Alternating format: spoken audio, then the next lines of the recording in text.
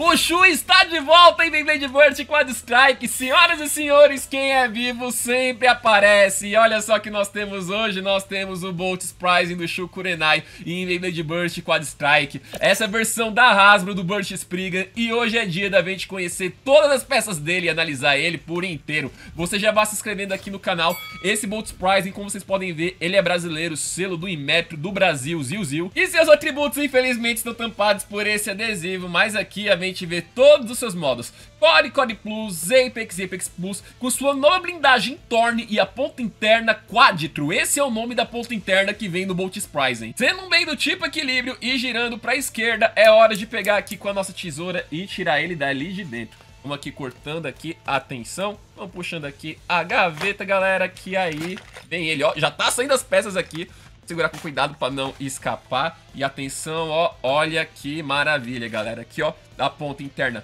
quadritro, blindagem é o Torne, o disco de forja é o Zantos, não é o Spray de Dash, é o Zantos lá do Excalibur. E finalmente, aqui de dentro do papel de seda, olha só que maravilha, Bolt Spryzen está aqui conosco. Os atributos também estão aqui no manual, galera. De acordo com a Hasbro, os atributos do Bolt Spryzen no seu modo mais padrão que é o Core Plus é 13 de ataque, com 3 de eclosão, 3 de defesa, 5 de peso, 8 de agilidade e 5 de resistência. E para todos os seus outros modos, eles também estão aqui. Normalmente, quando a minha caixa vem com adesivo por cima, eu pego no site da Baydex, mas até agora o Multisprice não tá listado por lá, então que bom que a gente tem o um manual. Eu vou começar com a primeira peça de hoje, galera. De um lado, o Spryzen da Hasbro e do outro lado, o Spriggan da Takaratomi. Já nota-se aqui a grande diferença das cores, um é branco com vermelho, amarelo e azul, e do outro lado ele é laranja com vermelho e roxo, e aqui temos o peso de cada um a versão da Hasbro, quanto é que nós temos aqui? Temos aqui ao todo 5.1 gramas,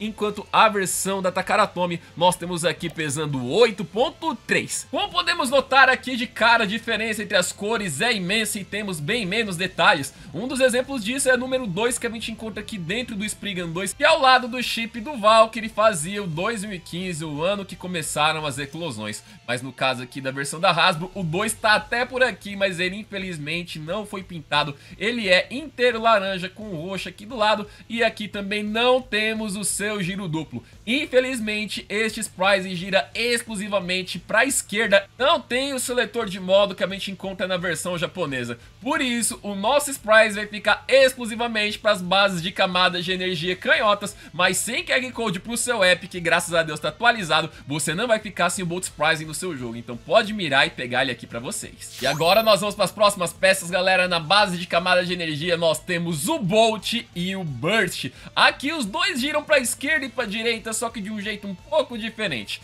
Primeiramente, como é que é a versão Atakaratomi? Nós temos aqui ao todo 15.5 gramas, enquanto aqui a versão da Hasbro, nós temos aqui ao todo 6.3, pesando bem menos.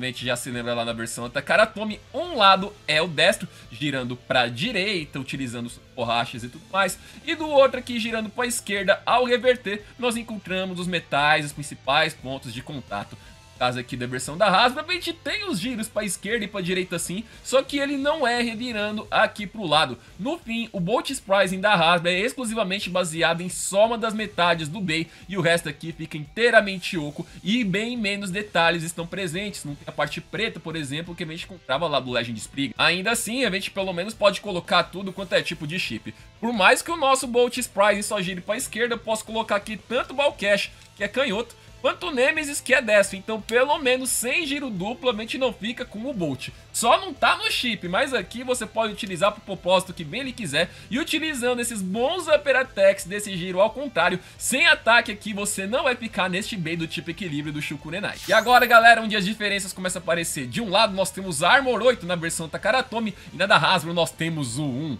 Quanto é que pesa cada um? Nós temos aqui 13 gramas, enquanto o 1 ele vem pesando 1.6, mas já que a gente tá falando do 1, é melhor comparar com ele, né? Ele pesa aqui ao todo 13.2, muito mais do que esta versão de plástico. Já que é do 1 que a gente tem que falar, já que esta é a peça que vem na versão da Hasbro, então esta que vamos comparar. Esse aqui não é o aro gravitacional que deveria ter vindo por aqui. Seria muito bom mesmo se a gente tivesse aqui o 8, mesmo que feito de plástico, porque aí assim ficava mais fiel à versão Atome, já que a gente não tá com todas as mecânicas por aqui. Felizmente os modos altos e baixos a gente gente pode fazer aqui com esses aros gravitacionais sem problemas, mas se lembrando que todas elas vão fazer a mesma coisa, seja o 1, seja o 0, seja o 6, só vai servir para mudar qual modo que você está colocando no seu base. E ao comparar o peso das camadas, aliás, quanto é que ficam elas em suas combinações padrão? Nós temos aqui 36.7, enquanto a versão da Hasbro, nós temos aqui ao todo pesando, temos aqui 13. E as diferenças não param por aí, porque agora olha só o disco de Forge que temos presentes nesses bays. De um lado, Spray Dash na Takara Tomy, do outro lado, os Antos na Hasbro, um disco completamente diferente, então a gente tem que pegar outro disco aqui para comparar. Nominalmente, quanto que nós temos aqui? Temos 33 gramas aqui no nosso Spray de Dash, aqui com nossos Antos, que vem com o nosso bem, nós temos aqui 23.7, mas se fosse Antos, Antos mesmo, quanto é que ele ia pesar? Temos aqui ao todo 32.4. Pra você que não se lembra do disco de Forge Spray Dash, esse aqui era um disco de Forge que falava um pouco da jornada do Sprigga em cada um dos seus bays. Temos textura do Knuckle, do Spray, de diversos discos que ele teve, bolinhas do zero, mas aí depois a gente chega por aqui e a gente encontra os Antos, galera. Já que nosso disco aqui é tão diferente, então vamos comparar ele com os Antos de verdade. Vemos que o disco de Forge aqui ele é bem menor. Temos aqui pelo menos a ponta da distribuição de peso aqui para vir para o seu ataque, mas a estrutura aqui todinha ao redor está extremamente reduzida. E ainda por cima, o XN do nome dos Antos não está aqui na pastilha lateral, mas sim aqui em cima. Uma coisa que gostaria pelo menos que a Hasbro tivesse mantido por aqui são a parte desse Y aqui das Beulocks, já que essa redução de vibração do Bay ajuda muito na performance. Dava fácil para colocar o XN por aqui,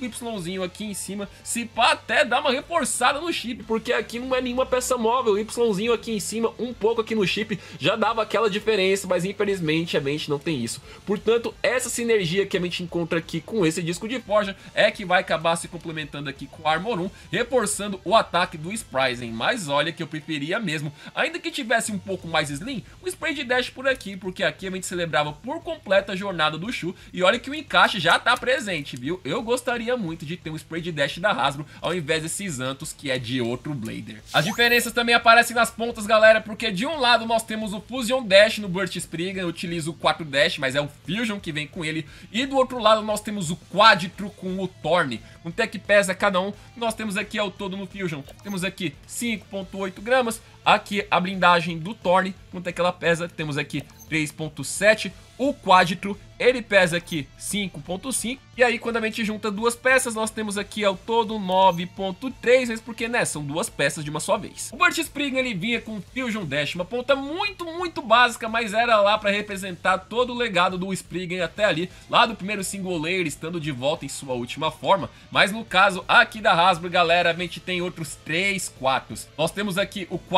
Amarelo que é o mesmo que já vinha lá no Astral's Pricing, aí depois tem a blindagem de Strike e a de Drive que vem lá no Achilles, haja 4, mas nenhum deles muda de modo. Pelo menos o Bolt Prize nos traz uma peça nova que é a blindagem Torne. Ela aqui lembra bastante o Merge, que nos traz mais uma maneira de colocar o Bey do Shu para trabalhar. Possui um LAD razoável e uma boa performance como todo tipo equilíbrio. Aqui embaixo a gente tem uma superfície um pouco mais plana para o nosso Bey correr mais, um formato levemente mais cônico aqui na ponta, para quando o Bey se inclinar conseguir acelerar e bater mais. E aí então montando o nosso Bey, galera, nós temos aqui ó, camada de energia, disco de forja e ponta de desempenho. A pressão aqui do nosso Sprice é muito semelhante à do Astral, é a mesma força. E aí o peso de todo mundo, a versão da Hasbro, nós temos aqui 46 gramas, enquanto a versão da Takara Tomy com o seu Fusion, nós temos aqui 75.4, galera. É uma pena que o bem da Hasbro está com tantos modos faltando. O Spryzen, que foi tão conhecido por ter tantos e tantos modos, não tá com ele presente aqui. Mesmo em Blade Burst Turbo, ele tinha seus dois modos. Lá em Blade Burst Rise também girava para os dois, mas aqui ele tá só canhoto, faltando muitas das coisas que a gente encontrava na versão da Takara Tomy. Vamos então agora levar ele pro combate e ver do que ele é capaz. Test Launch, tem um Larry Rip, lá vai ela, ó. Blindagem Thorn, esse é o comportamento do Bolt Surprising quando não tem ninguém no campo, ó. O básico num tipo equilíbrio com ataque puxado pelos Antos. Tem um Larry Rip, vamos então, primeiros adversários, galera. Primeiramente, a gente vai fazer pra cada um dos quatro modos desse day, quatro adversários. E já teve uma eclosão aqui pelo Príncipe Sombrio. Tem um Larry Rip, vem agora o Lui e agora lá vem o Shu, galera. Atenção, batendo forte, perseguiu aqui e enfrentando o adversário e também eclodindo ele. O Lui não consegue passar. Fiz um Larry. Agora um dos mais apelões de Quad Strike, Lightning Pandora, gente. Bem redonda, blindagem do Steel, altíssima postura. Vamos ver o que, é que eles fazem. Atenção, empurrando por trás. Eita que jogou o Twist. Olha aí o que ele vai fazendo. O Shu vem perseguindo. Vai dominando a arena, vai utilizando as quad zones, vai gastando sua energia. Será que o Lightning Pandora aguenta? Nós temos a Fúria Elemental aqui.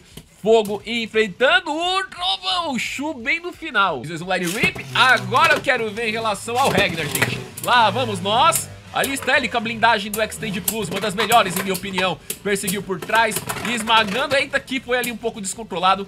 Voltou. O que é que ele vai fazer, gente? Agora acuado pelo Glory Ragnar, será que ele ainda vai conseguir sobreviver? Vou chegando ali na parte de baixo da arena. Olha só o que ele faz, um anjo esquiva e leva a vitória. Vamos agora mudar de modo. Vamos agora sem a blindagem, galera. 3, 2, 1, let it rip. Lá vai o quad lá vem, ó. Olha aí, Hyperion. O fogo vai acelerar. Dessa vez, Hyperion, sem sua blindagem, dentro dele está o guard. Vamos ver como é que ele faz, como é que ele bloqueia os ataques do Shu destre canhoto empurrando, mergulhando pra baixo, tirou muita energia, vai chegando no fim do giro empurrando esse Diagron pro chão também, ó a chance da vitória aqui do Spryzen, pera, pera aí, não, foi vitória do Hyperion, fiz um Light Rip, vamos agora de Royal Knight, gente, olha aí o Kit Lopes, colisões, subiu e bateu, contornou vindo por trás. Esse Rory, gente, por mais que a versão da Hasbro não tenha as mecânicas, é bem apelão. É como se ele fosse um Garuda, só que mais grosso. O que é que ele vai fazendo ali? Persegue também Jag enfrentando a parte do Quadrito, que é relacionada ao modo de ataque da ponta original da Takaratomi. Chega no fim, começam a cair e o Shu consegue prevalecer no final. Vocês um Light Rip. Vamos agora colocar dois Shus para lutar, o primeiro e o segundo. Vamos lá, Astral e Bolt, os dois da Hasbro, os dois canhotos, teve explosão e peça voando pra tudo que é lado. Gente, eu soltou até o aro gravitacional. Vocês um Light Rip, mais um antes da gente mudar os modos. Eita, Ixi, Maria.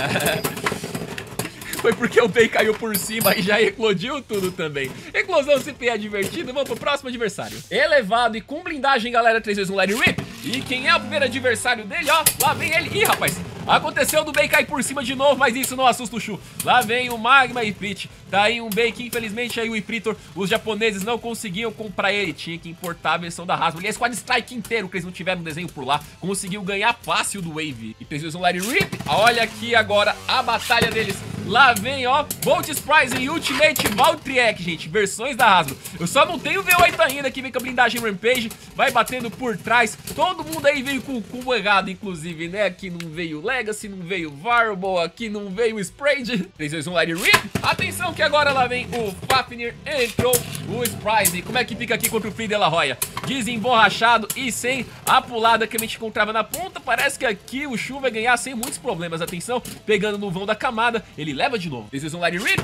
Mais outro que ficou canhoto foi o Iger. E aqui nós temos, ó, o Zial Need Hog, galera. O Aquiles também foi outro que também era do giro duplo, que ficou só canhoto. O combo dele também tava um pouco esquisito. E vai chegando no final, ó. De novo, Shu. E sem blindagem, componente final dos nossos testes. Atenção, que entre o primeiro B e o segundo nós temos o Twister Pandora.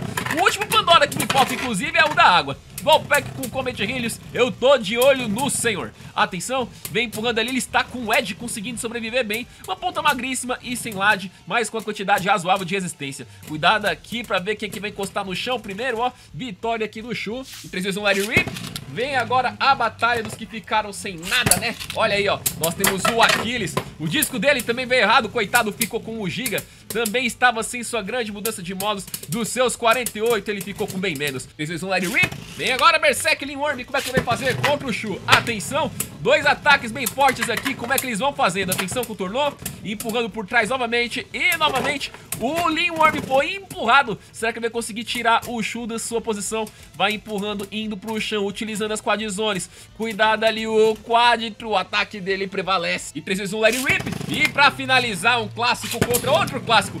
Valt e Shu, sem mecânicas por aqui. Esse aí tinha como um pouco mais correto. A gente tem aqui o salva de Valtriek, correu empurrado contra a parede. Ele não tem a mola, seu shot não salta. Quem é que leva a melhor por aqui? E empurrando o Disco Squadron pro chão é vitória do Shu. E por último, aquela luta que não pode faltar, né, galera? Versão da Takarato em primeiro, rápido depois. Pra partida ficar um pouco mais justa. Olha só a diferença, gente. Atenção, Bolt Prize em Burt Spriggan, Fusion contra Thorn. Quem é que leva essa, gente? A gente vê aí que o Bolt já perdeu muita energia.